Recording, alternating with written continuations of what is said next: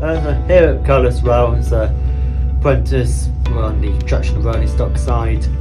It's mainly vehicle maintenance, sometimes out operating machines, and just getting a whole understanding for the machine, engine replacements, wheel set replacements, there's good mechanical expertise we're learning. Uh, here at Rail, the support network is absolutely fantastic.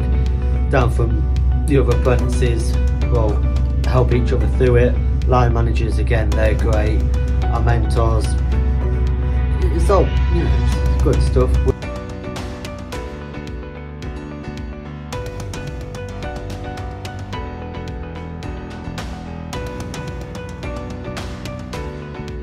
Uh, I've always been interested in the railways. I finished college, volunteered at Heritage Railway, thought want to make a career out of it.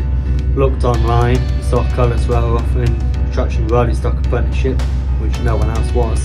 So I thought it's once in a lifetime opportunity. Thank you.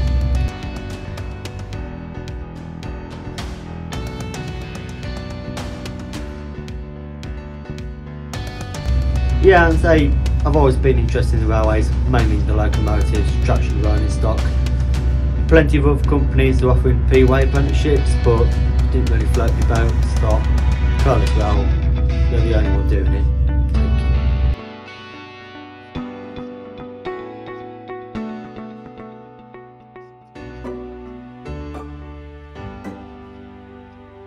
Uh, volunteer North Yorkshire Moors Railway on steam and diesel locomotives, heavy maintenance, day maintenance, just overhauling and refurbishment work.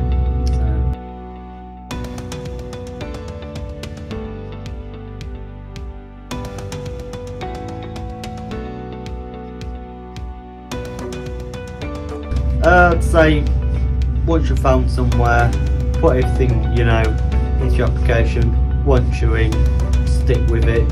If you're enjoying it, because you'll get out what you put in. So really make the most of it. Everything's here.